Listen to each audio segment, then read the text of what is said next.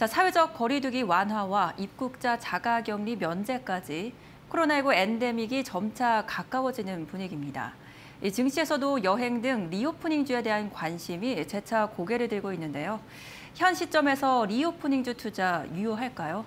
예, 투자 유망 종목과 유의점을 이해라 기자가 취재했습니다. 정부가 오늘부터 사적 모임 인원을 늘리고 카페, 식당 등의 영업 가능 시간을 연장하기로 했습니다. 또 백신 접종 완료자라면 해외에서 입국 시 기존 7일 동안의 자가 격리 의무도 면제됩니다. 이전보다는 확실히 완화된 방침으로 코로나19를 마주하고 있는 겁니다. 우리나라를 포함해 주요국들이 코로나19 상황을 엔데믹 단계로 전환하려는 움직임이 나타나고 있습니다. 이에 증시에서도 여행, 레저 등 reopening 주들의 온기가 감돌고 있습니다. 하나투어는 이달 약 8% 가까이 올랐습니다.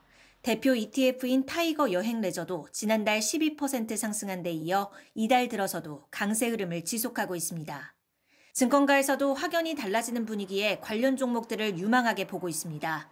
이진엽 유안타증권 연구원은 경기 재개 국면에서 영업 개선 효과가 강할 것이라며 하나투어를 최선호 종목으로 꼽았습니다. 조직 효율화, IT 인프라 투자 등으로 코로나19 이전 수준처럼 대응하는 것이 무리가 없다는 이유 때문입니다. 유동인구가 늘어날 것을 예상해 편의점 등 내수 reopening 종목 투자가 유효하다는 의견도 나옵니다. 박종대 하나금융투자연구원은 특히 BGF 리테일을 긍정적으로 전망했습니다. 문제는 reopening에 대한 기대감이 그간 재차 노출된 점입니다. 이는 관련 종목군의 변동성을 키우는 요인으로 작용하기도 했습니다. 이에 기대감만으로 reopening주의 상승세를 따라가는 매매는 지양하고 분기별 경영 성과 등 확인이 반드시 필요하다는 의견도 나옵니다.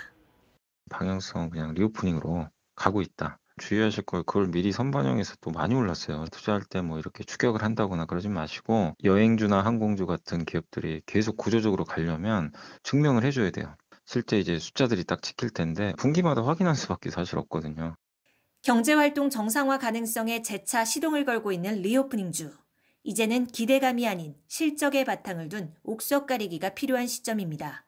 이데일리 TV 이해랍니다.